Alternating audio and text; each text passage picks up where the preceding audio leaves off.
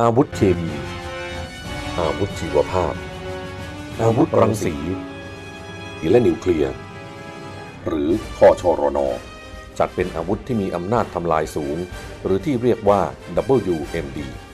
คืออาวุธที่ออกแบบมาเพื่อทำอันตรายมนุษย์ สัตว์ หรือพืชจำนวนมากในพื้นที่กว้าง โดยก่อให้เกิดการบาดเจ็บ ป่วย และเสียชีวิต อาวุธเคมีและชีวภาพมีใช้กันมาตั้งแต่โบราณกาล ก่อนที่วิทยาศาสตร์และเทคโนโลยีจะเจริญก้าวหน้าเช่นเช่นปัจจุบัน ส่วนอาวุธนิวเคลียร์ที่เดิมเรียกกันว่าระเบิดปรมาณูและรังสี ซึ่งเป็นผลอันตรายอย่างหนึ่งจากการระเบิดนิวเคลียร์เพิ่งเป็นที่ประจักษ์ต่อชาวโลกเมื่อปลายสงครามโลกครั้งที่สองอาวุธเคมีถูกนำมาใช้ในการรบยุคใหม่เมื่อต้นสงครามโลกครั้งที่หนึ่งเมื่อทหารฝรั่งเศสริเริ่มใช้สารทำให้น้ำตาไหลโจมตีทหารเยอรมัน แต่ไม่ประสบผลสำเร็จต่อมา ในปีคริสตศักราช 1915 กองทัพบบกเยอรมันโจมตีแนวรบของทหารฝรั่งเศสขนาดใหญ่ ด้วยก๊าซคลอรีน ปล่อยออกจากท่อทางการค้าที่ใช้ในอุตสาหกรรม และได้รับผลสำเร็จเกินความคาดหมาย หลังจากนั้น ทั้งฝ่ายสัมพันธมิตร และฝ่ายมหาอำนาจกลาง ต่างก็ใช้สารเคมีชนิดต่างๆ และอาวุธเคมีหลายรูปแบบในการรบจนสิ้นสงครามบทเรียนจากการใช้อาวุธเคมีในสงครามโลกครั้งที่หนึ่งทำให้หลายชาติตระหนักถึงความสำคัญและพิษสงของอาวุธชนิดนี้ จึงต่างพัฒนาผลิต สะสม และใช้จนถึงปัจจุบัน รวมไปถึงความต้องการมีอาวุธที่มีอำนาจทำลายสูงชนิดอื่น คืออาวุธชีวภาพและอาวุธนิวเคลียร์ เพื่อการป้องปรามปรปักษ์และเป็นเครื่องหมายแห่งพลังอำนาจทางทหารของตน กองทัพบบกไทยได้ตระหนักถึงภัยคุกคามจากอาวุธเคมี ทั้งจากประเทศเจ้าอาณานิคมในภูมิภาคนี้และจากญี่ปุ่น ซึ่งแผ่อิทธิพลเข้ามาในห่วงก่อนสงครามโลกครั้งที่สองจะเกิดในยุทธบริเวณภาคพื้นแปซิฟิก จึงได้เตรียมการรองรับภัยคุกคามนี้ ตั้งแต่พุทธศักราช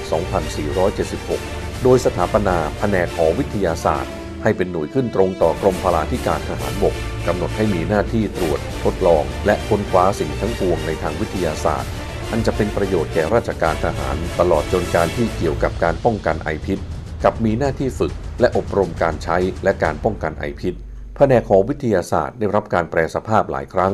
จนในที่สุด ได้รับการยกฐานะเป็นกรมวิทยาศาสตร์ทหารบก ขึ้นตรงต่อกองทัพบบก ในวันที่ 26 มกราคม พุทธศักราช 2514 ถึงแม้ว่าจะมีความตกลงพหุภาคีหลายฉบับ ที่พยายามห้ามและลดอาวุธที่มีอำนาจทำลายสูง แต่ภัยคุกคามยังไม่หมดไปเสียทีเดียวภัยคุกคามตามแบบมีสูงสุดในยุคสงครามเย็น และลดลงมากหลังสงครามเย็นสิ้นสุด แต่กลับมีภัยคุกคามนอกแบบเพิ่มสูงขึ้น อันเนื่องมาจากการก่อการร้ายด้วยอาวุธเคมี ชีวะ รังสี นิวเคลียร์ กลุ่มก่อการร้ายบางกลุ่ม ลงมือใช้อาวุธเหล่านี้แล้ว และมีอีกหลายกลุ่มที่กำลังพยายามหามาใช้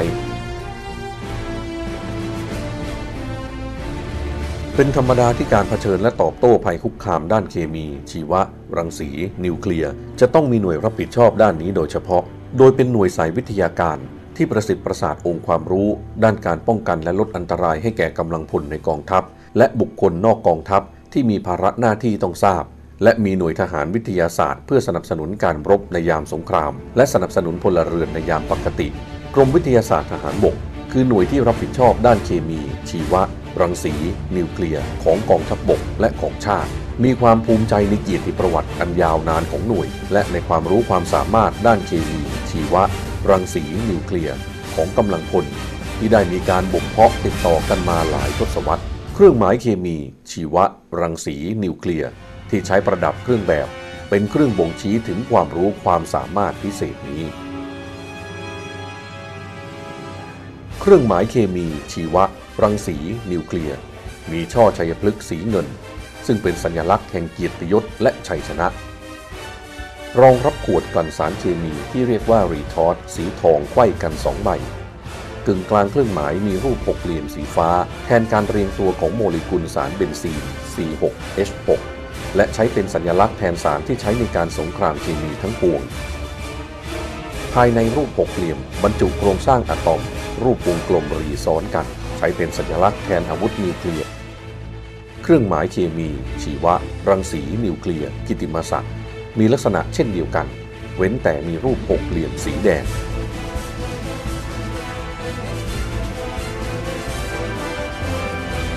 เครื่องหมายเคมีชีวะ รังสีนิวเคลียร์ใช้ประดับกับเครื่องแบบได้ทุกชนิด โดยประดับที่อกเสื้อด้านซ้าย เหนือเครื่องราชอิสริยาภรณ์เว้นแต่เครื่องแบบฝึกและเครื่องแบบสนาม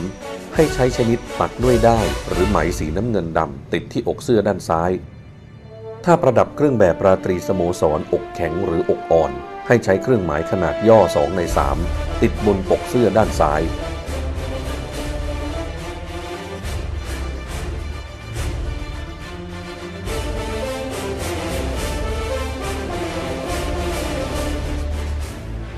การที่ท่านทั้งหลายได้รับเกียรติให้เข้ารับเครื่องหมายเคมี ชีวะ รังสีนิวเคลียร์กิตติมศักดิ์ในวันนี้ เป็นการเชิดชูเกียรติว่าท่านได้ประกอบคุณประโยชน์ และให้ความช่วยเหลือสนับสนุนกิจการต่างๆ ของกรมวิทยาศาสตร์ทหารบกด้วยดีมาตลอด อีกทั้งบางท่านยังเป็นผู้เชี่ยวชาญสาขานี้ในหน่วยงานของท่านกรมวิทยาศาสตร์ทหารบก จึงขอต้อนรับท่านเป็นสมาชิกคนหนึ่งของครอบครัวทหารวิทยาศาสตร์ ตั้งแต่บัดนี้เป็นต้นไป